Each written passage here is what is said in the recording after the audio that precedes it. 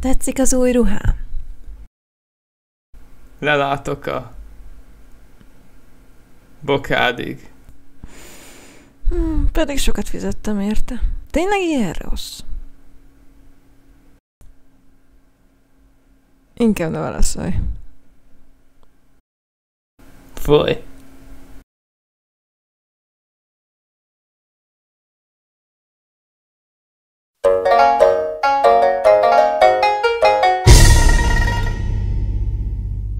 Sziasztok! Múlt héten volt az EPRES nyereményjáték határideje, úgyhogy itt az idő, hogy kihirdessem a nyerteseket. Erre a nyereményjátékra ugye kalandpályát kellett készíteni, amíg, amígben csabusa mémek vannak. Egyébként az eredmény eléggé egyhangú volt, mindenki ugyanazokat mondta legjobbnak. Amíg elmondom a bevezetőt, addig a pályákból láthattok részleteket, amiket egyébként ti is kipróbálhattok, a csabusa.tk oldalról tölthetitek le. Nem tudom, hogy most bírja a szerver, amikor először meghirdettem az oldalt, akkor olyan sokan mentetek föl, hogy nem tudom, besokalt a szerver, vagy, vagy mi a túró. Úgyhogy ha nem tölti be az oldalt, akkor legyetek türelemmel, hamarosan befogja, gondolom. Így a végére történt egy kis változás, nyugi, nem negatív, pozitív változás. Mivel a harmadik hely nem sokkal maradt le a másodiktól, azt gondoltam, ő is kapjon valamit, tehát nevezzük mondjuk külön díjnak, tehát egy külön díjat is osztunk, meg hát egyébként is három helyezett, sokkal kerekebb, nem? A harmadik helyzet egy Steam kulcsot fog kapni. Korábban említettem, hogy kaptam egy rakás Steam kulcsot, és úgy gondoltam, hogy ezeket szétoztom nyereményjátékokban. Nem nagy címek, de gondoljatok erre, hogy ezek, ezeknek ilyen eszmei értéke van. Tehát, hogy egy nyereményjátékon kaptátok. Ezt én fogom majd elküldeni az illetőnek. Az első két helyzetet Márk fogja megkeresni, mert hát nálam vannak a nyeremények. Azt úgy emlékszem nem mondtam, amikor meghirdettem a játékot, hogy úgy fog kinézni a dolog, hogy először az első helyzet kiválaszt egy játékot a kettő közül, hát a második pedig megkapja a másikat. Ez azért van így, hogy a nyertes azt kapja, amit szeretne, hát ha már megnyerte a játékot.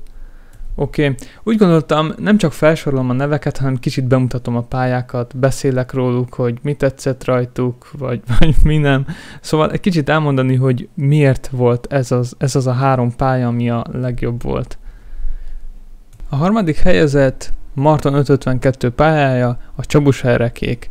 A történet röviden annyi, hogy a föld elpusztul, az emberek elköltöznek a sajtbolygóra, aztán van egy nagy úr, akit legyőznek, aztán visszaköltöznek a bolygóra, de terméketlen, és ezért meg kell szerezni erekéket. A csabus erekéket kell megszerezni.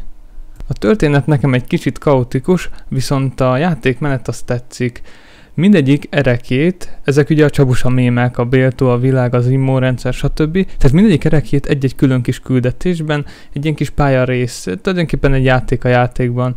Hát most nem, nem szívesen, de hát tulajdonképpen, mint a fantasztikus kalandoknál, tehát sok küldetés, és össze kell szedni mindegyikből valamit.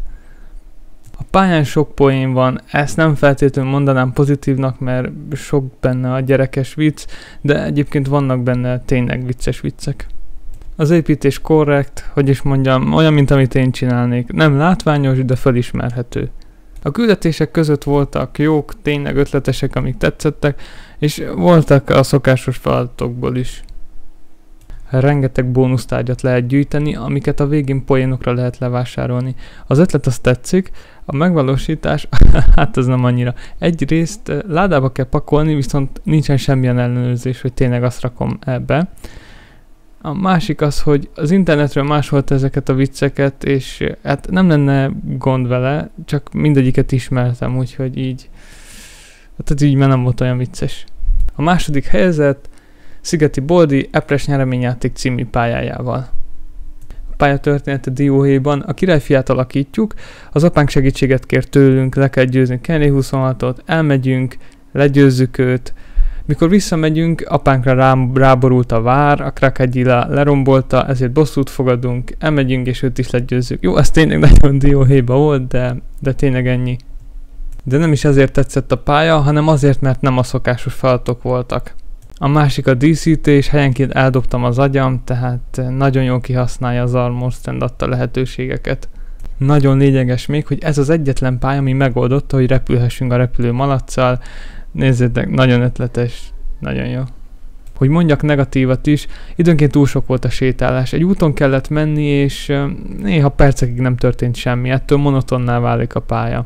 A másik, hogy okosan rakott barriert az út mellé, hogy ne kúszáljon el a játékos, viszont időnként pont ez volt az idegesítő, tehát mondjuk egy kis kanyart nem lehetett levágni, kellett menni az úton. Én nem raktam volna ilyen közel az úthoz. És az első helyezett Kopci K. a gonosz terve című pályájával. Mind a történet, mind a díszítés, a küldetés, a játékmenet, minden nagyon jól eltalált, látszólag jól átgondolt.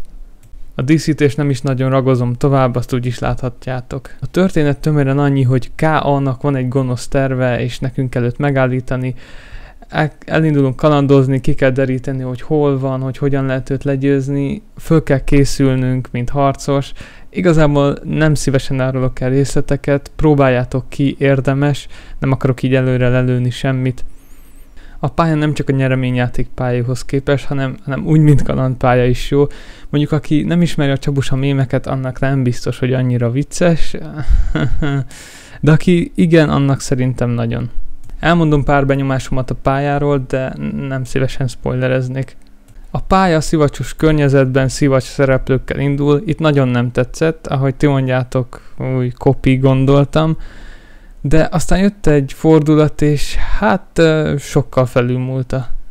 Odafigyelt arra, hogy csak akkor mehessünk el helyekre, amikor azok aktuálisak.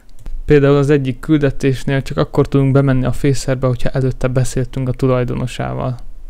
Nagyon tetszett még, hogy a krakadilát megépítette. Általában mindenki blokkokból egy hatalmas krokodilt épített. ő máshogy csinálta, ráadásul a szerepe is különleges volt, ő a mesterünk. A pálya humora teljesen jó, a történet élvezhető, teljesen jó pálya.